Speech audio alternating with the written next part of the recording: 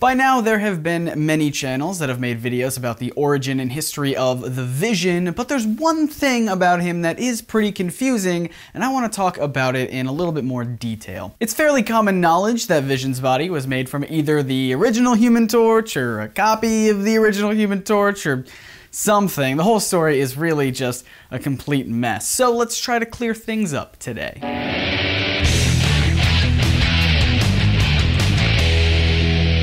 Welcome to Comic Misconceptions. I'm Scott, and we're down to our last video for Avengers Month, even though it carried over to the next month. There have been a lot of things that I wanted to explore with the character of the Vision, including the philosophical ramifications of learning that even an android can cry, but we'll save that one for another video. Let's talk instead about the somewhat convoluted origin of the character, specifically in regards to where his physical body came from. As always, I'm going to skip over a lot of things regarding the character and just link up Eris's video on the history of Vision because he did a great job yet again, and there'd be no point in me going over the same information. So you can go watch that if you want a general overview of the character. Now allow me to cut everything down to just the info you need for this specific video. Vision is an android, or a synthezoid as he's also been called before. He was created by Roy Thomas, Stan Lee, and Steve Buscema, but in the comics, he was created by Ultron. How he was created has changed a few times over the years, and his first appearance in Avengers number 57 from 1968, Vision's origin was kept pretty vague. The only thing we knew was that he was created in some capacity by Ultron, but Ultron didn't want Vision to know much more than that. The story of where his physical body came from was in the works for a while. It was supposed to be the body of the original Human Torch. This character is not the one that you know from the Fantastic Four, but rather a Golden Age Marvel hero who was himself an android and debuted in Marvel Comics number 1 from 1939. Man, we've been talking a lot about Golden Age heroes lately. Human Torch was created by Professor Phineas T. Horton and had just one minor flaw. When exposed to oxygen, the android would burst into flames. Luckily, he learned to control this fire and became one of Marvel's first superheroes. And if we've seen anything over the past few episodes, it's that Marvel really loves to find ways to link up heroes from the Golden Age into modern continuity. And that's where this story comes into play that we can see told for the first time in Avengers number 133 through 135. Long story short, Human Torch was dying and went out into the desert where he could go Nova without harming anyone. A little over a decade later, his body was found by a villain known as the Mad Thinker. He was brought back to life in Fantastic Four Annual number 4, where he fought the Fantastic Four only to die yet again.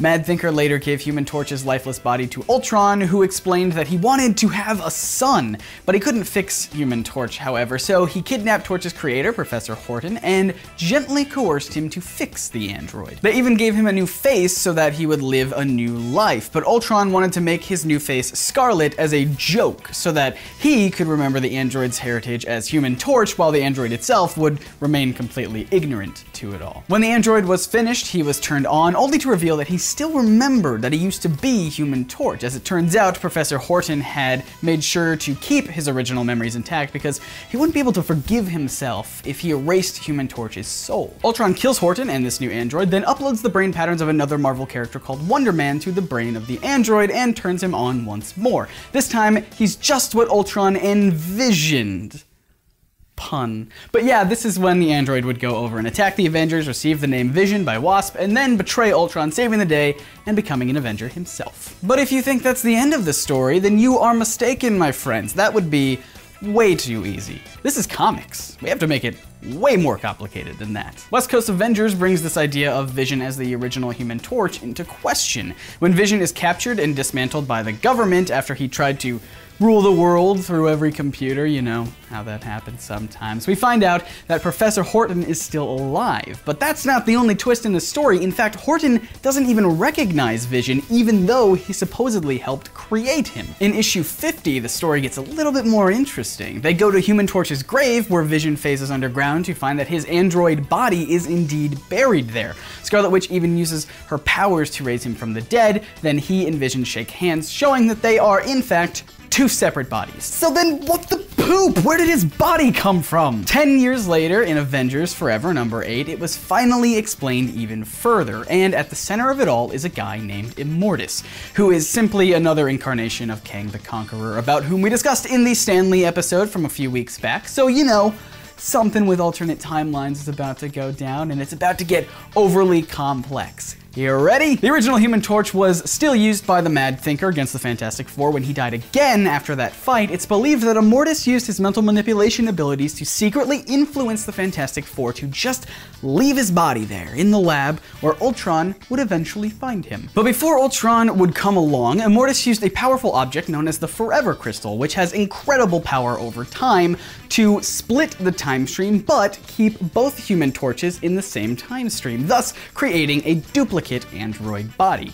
Ultron would take one and use it to make Vision, and the other would be buried as the dead Human Torch, whom Scarlet Witch would resurrect later. It was even explained in an earlier comic, Avengers West Coast number 61 to be exact, that Immortus has been planning all of this from the start. He showed Vision his origin as the Human Torch so that he would feel secure enough in himself and his past to be free and ask Scarlet Witch to marry him. Heck, Immortus even officiated their wedding. He would go on to influence Vision to take over the world's computer computers and then turn around and influence the governments of the world to capture him and dismantle him so that he would be rebuilt as an emotionless machine. It even explains why Professor Horton didn't recognize the disassembled Vision as one of his own creations.